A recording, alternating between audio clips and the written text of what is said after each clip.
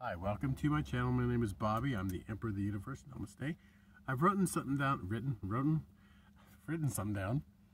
Does the energy of poverty create mental slavery? Hmm, I really like that. Think about that for a minute.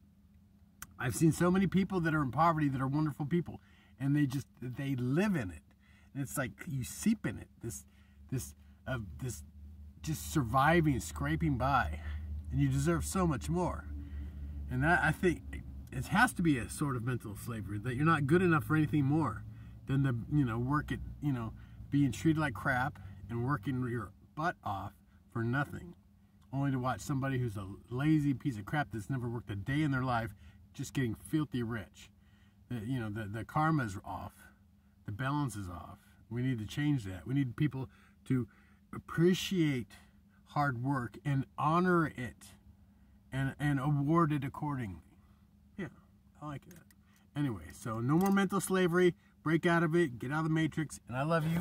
And God loves you. And the universe is an amazing place. And love.